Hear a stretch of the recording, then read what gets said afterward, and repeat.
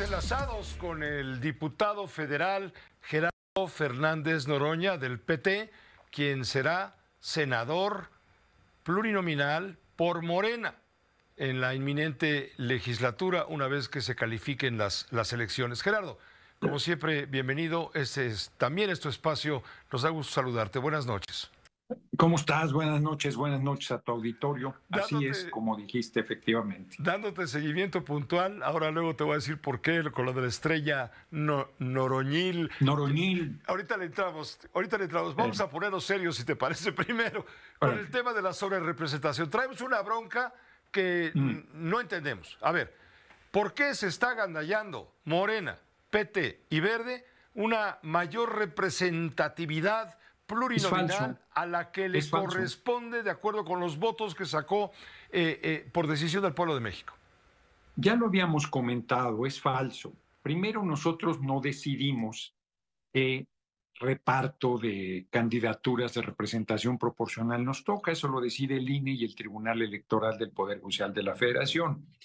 La derecha está aterrada porque vamos a hacer las reformas constitucionales y entonces está intrigando a ver, si fuéramos un sistema como el de Estados Unidos o Gran Bretaña, tendríamos el 85% de la representación en la Cámara de Diputados porque ganamos 255 de 300 y tendríamos el 93% de la Cámara de Senadores porque ganamos 30 de 32 fórmulas de mayoría.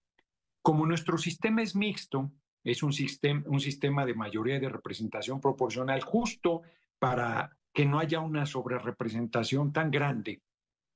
Entonces, las, las eh, candidaturas de representación proporcional te permiten disminuir y la Constitución dice que solo puedes tener 8% arriba de la votación que obtuviste. ¿Como partido o como La derecha dice que obtuvimos 54 y miente porque suma la votación de Morena, del PT y del Verde, y la Constitución lo plantea para cada fuerza política, porque si no, no tendría sentido ir en coalición porque nunca tendrías la mayoría calificada, fuera la manera que asistieras a la elección.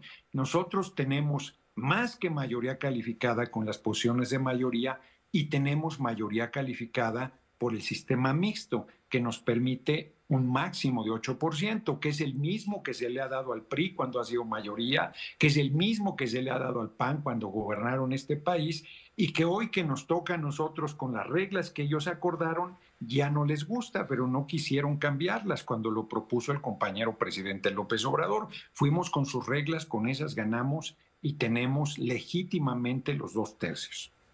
Correcto, legítimamente dices van a tener ustedes los dos tercios, pero sí en esta argumentación ciertamente de la derecha se alega, por ejemplo, que el Partido Acción Nacional tendría derecho a un determinado número de diputados plurinominales. Muy bien. Va a tener más, más que los que tuvo de mayoría, tuvo 32 de mayoría y tendrá 38 de representación proporcional. Sí, pero lo que alegan los panistas es que, por ejemplo, al Verde, que tuvo menor, menor votación que, que Partido Acción Nacional, le están dando eh, el doble, más del doble de, los diputados. Miente, el Verde ganó un número muy grande de diputaciones de mayoría, creo que sesenta y tantos, no tengo el número preciso, sí. y le dan en base a la votación que tuvo, le dan una, un número mucho menor, pero mucho menor que Acción Nacional, que ganó muy pocas de mayoría, va a tener más, el verde va a tener más de mayoría que de representación proporcional. Están faltando a la verdad, pero yo vuelvo a insistir, como dicen los abogados, suponiendo sin conceder que tuvieran razón, pues eso lo decide el INE y luego ellos pueden ir al Tribunal Electoral, que lo harán, a impugnar y el Tribunal Electoral aplicará lo que dice la ley y la Constitución y ahí ya no podrán alegar nada. Y van a seguir alegando porque no saben perder y porque las reglas que ellos hicieron y les favorecieron siendo minoría, ellos eran minoría, no llegaban ni al 50% más uno de los votos y tuvieron inclusive dos tercios de la Cámara de Diputados y de la Cámara de Senadores, y nosotros que sacamos casi el 60% en la votación presidencial, y que obtuvimos, reitero, el 85% de las posiciones de mayor en la Cámara de Diputados y el 93% en la Cámara de Senadores, andan llorando por los rincones y nos andan regateando lo que en derecho nos corresponde. y con el apoyo del pueblo, que hizo una votación espectacular para darnos los dos tercios para realizar las reformas constitucionales que el país necesita. Pues vamos a, ver todo esto, cómo evoluciona desde el punto de vista de la decisión que tomará el instituto. Si hay inconformidades, bueno, pues eh, los inconformes, los partidos inconformes irán a reclamar al tribunal que en su derecho corresponde al tribunal electoral y que finalmente se, dirime esta situación. ¿Cómo andan las fechas, los, los tiempos? Porque pues ya urge, ¿no? Ya, ya el, el próximo Congreso tiene que constituirse a más tardar el último día de, de agosto. Sí, Fíjate que yo espero que ya se resuelva porque además en la elección presidencial, pues eh, Berta Xochitl Galvez Ruiz al final no presentó las pruebas que iba a presentar. Entonces esa se calificará, comentaba algún magistrado del Tribunal Electoral, no recuerdo si era de la PESA Pizaña o, o quién, que la próxima semana ya estaría el proyecto de dictamen, hasta donde recuerdo haber leído. Este, de igual manera, las elecciones de diputados federales y de senadores pues no deben pasar mucho más tiempo. Yo espero que no suceda lo que sí ha pasado en alguna ocasión, que todavía en el último momento bajan a una persona que ya se hacía diputado o diputada y la cambian por otra, por las acciones afirmativas y cosas de esta naturaleza. Yo creo que hoy eh, no hay tantas inconformidades, creo que el triunfo es muy contundente y creo que lo único que está en discusión es la interpretación que tanto Lorenzo Córdoba como Ciro Murayama, tramposamente, porque ellos fueron consejeros electorales, han estado queriendo aplicarle a la coalición lo que la Constitución en su letra expresa aplica a partidos políticos. Esa es toda la diferencia y por eso ellos están inventando la patraña de que nos queremos sobrerepresentar más allá de lo que en realidad nos corresponde. Te digo, hacen una suma simple del 54% sumando los los tres porcentajes de los partidos y entonces tendrían 62%, que estaríamos a nada de todos modos de los dos tercios, pero legítimamente nos corresponden.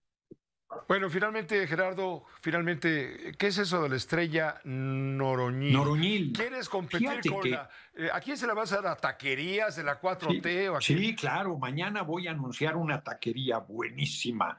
Fíjate que hicieron un reportaje en el financiero de los lugares donde iba a comer. Y entonces empezaron a, pues, a golpetear con eso, que, que todas las eh, descalificaciones por la austeridad y no sé cuántas barbaridades. Y la verdad es que yo soy todoterreno, yo como en cualquier sitio con que se coma rico y como he recorrido el país, pues conozco lugares este, muy buenos para comer, de veras, que son un placer, ahora sí que de orgasmo.